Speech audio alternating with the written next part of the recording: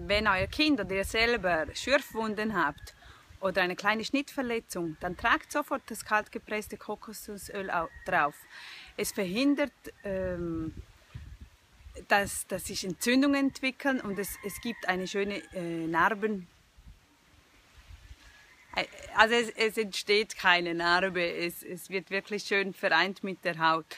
Unsere Kinder haben immer ein, eine Dose bei sich, so wenn die irgendwie verunfallen oder etwas sich schneiden, dann wird sofort das Kokosöl draufgetan und die Verletzungen sind wirklich innerhalb von kürzester Zeit wieder weg. Probiert es aus.